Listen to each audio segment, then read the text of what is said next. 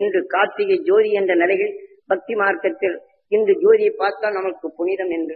இதைத்தான் நாம் கண்டிருந்த ஐதீக நிலைகள் காட்டினார்களே தர உண்மையான ஜோதியின் தன்மையை நாம் விண்ணுலகம் சென்ற அருஞானின் உணர்வை நமக்குள் பார்க்க வேண்டும். இருளை கண்டு நீக்கி அந்த அருஞானின் உணர்வு நமக்குள் வந்து நம்ம எரியாத இருளை படந்து நமக்குள் அந்த ஒளியின் சுடரை காணும் நிலைகள் நமக்குள் எண்ணி இயங்கும் நாள்தான் இன்று கார்த்திகை என்ற நிலைகள் வைத்தது இன்று கார்த்திகை ஜோதி இங்கிருந்து திருவண்ணாமலைக்கு சேர்ந்து அங்க தீபத்தை ஏற்ற உடனே அவங்க ஐதீக முறைப்படி உன் உணர்வின் தன்மையை அங்கே திரு அண்ணாமலை என்ற நிலையில் அங்க காட்டப்பட்டது.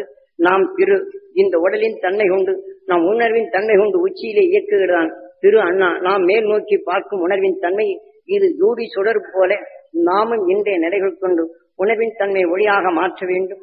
நம்மை உருவாக்கிய உணர்வின் தன்மை கொண்டு இன்றைய நன்னாளில் நம்முடன் வாழ்ந்து வளர்ந்து உடலை ஒட்டி சென்றாலும் அவர்களின் உணர்வின் தன்மை நம் உயிரான நிலைகள் ஒன்றி அவர்கள் இன்னொரு பரவா நிலைகள் பெற்ற அந்த ஞானியின் உணர்வுடன் அங்கே இணைத்து அந்த ஜோதியின் சுடராக விளைய வேண்டும் என்று மூதாதைய உயிர் ஆன்மாக்களை அங்கு ஒளி சுடராக மாற்றப்படும் போதுதான் அதனின் உணர்வின் நாம் நுகரும் ஆற்றலையை பருகின்றோம்.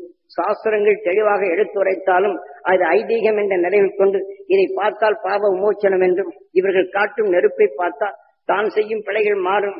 தனக்கு ஜோதியின் சுடராக நாம் அமையோம் என்று ஆக சாதாரண நிலைகளைத்தான் நாம் செல்லுகின்றோமே தவிர அவன் காட்டிய உண்மையான ஜோதியின் சுடரை தன் உயிரின் கண்ணின் நிலைகள் கொண்டு உயிரான திரு இந்த உலகின் அண்ணாமலையான உயிரை எண்ணி அந்த உணர்வின் தன்னை வெண்ணில் நோக்கியேகி விண்ணிலை இன்று ஆக இன்று பூமியாக இருக்கும் பரமான நிலைகள் அது அருகிலே நின்று இந்த பூமிக்கு வரும் உணர்வின் தன்மையை ஒளியாக மாற்றி ஒளியின் சுடராக இருக்கும் அவனின் நிலையை என்றும் நாம் பெற வேண்டும். இந்த ஒளியின் சுடராக மாற்ற வேண்டும் என்ற இந்த நன்னாள் இது.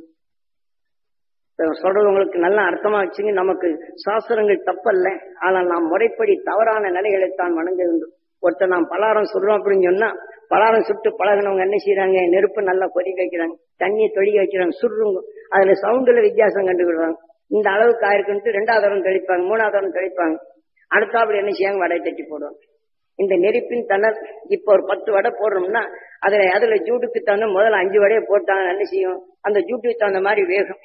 ஆனால் அடுத்தாப்படி அஞ்சு வடை ரொம்ப இந்த ஜூடு தணிஞ்சு போகும். இந்த அஞ்சு வடைக்கு என்ன செய்யும்? ஜூடு பத்தாது. இதுல எண்ணெய் எடுத்து இந்த முதல்ல சுட்ட அஞ்சு வடை ருசியா இருக்கும். அடுத்தாப்படி சொல்ற வடை ருசி இருக்காது. இந்த எண்ணெயை கவர்ந்துக்கணும். ஆனா கண்ணுக்கு முன்னாடி பாக்குறோம் அதே மாவு தான் அதே தான் அதுக்கு தகுந்த நெருப்பு வேணும் இல்லை அதே மாதிரி இரும்ப காய்ச்சிரும். நெருப்பு சாதாரண நிலையில உருக்க விட்டு தட்டினா பரவாயில்ல. ஆனா சரியான நிலையில் உருகாதபடி உத்தி வச்சீங்கன்னா இது சக்க சக்கையா பெய்யும். இரும்பு நீங்க பற்றலை தைக்கிறாங்கன்னா நம்ம நெருப்பன்னு பழுத்து போச்சுன்னா சரி ஆக பழுத்து போச்சுன்னு நம்ம தட்டுவோம். ஆக சரியான நிலைகள் இணைத்து அதனுடன் இணைந்து வளைந்து வரும் தன்மை கொண்ட ஜூட்டை கொடுத்து தட்டினால்தான் அது நேரா வரும். இல்லைன்னா கொஞ்சோண்டு ஜூட வச்சு தட்டினாலும் சரி நான் அவங்க தட்டினாலும் நாம் தட்டினாலும் சக்க சக்தி அப்படி எல்லாம் தட்டின விட இரும்பு மோசம். அவருடைய உணர்வுகளுக்கு ஒப்ப அந்த சிந்தனை அங்க பழக்கத்தில் வருகின்றது இதை போன்றுதான் நாம் எடுக்கும் முறைகள் எவ்வாறு என்று தனக்குள் கண்டுணர்ந்த உணவின் சத்தை அந்த அருஞானி காட்டினார்.